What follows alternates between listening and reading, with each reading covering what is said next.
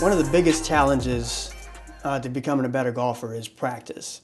It's expensive, it's time consuming, and it takes a little more dedication than the average golfer is ready to put up.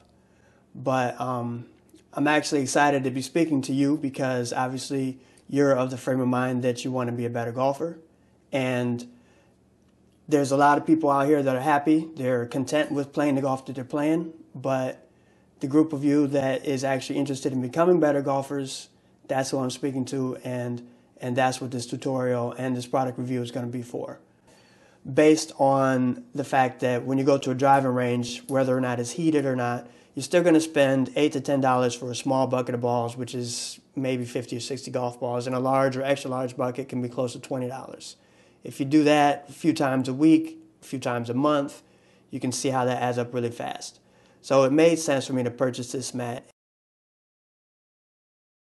And actually, it's been almost, like I said, two years now, and I'm, I'm glad I did. It was a good purchase. To be able to work on shots, short range shots, wherever and whenever I wanted to, and you're not spending any money.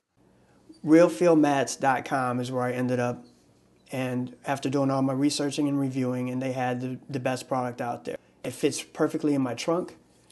It's lightweight it's durable. Real Feel mats have a thick nap, and the, the turf that they use to simulate the grass is, is durable yet flexible.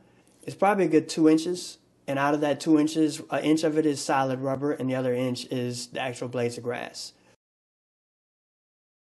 You want a mat that can withstand plenty of use, the wear and tear over the different seasons. You don't want it to shed um, firm and resilient, but still flexible. How good does it imitate grass? Flexible like a blade of grass would be, but also uh, resilient enough to give you the type of feedback when you hit a, a bad shot.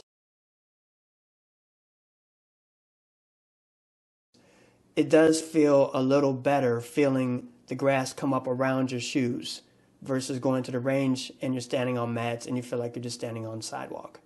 So those three things right there are I give the real feel mat like A plus check marks in all those three categories.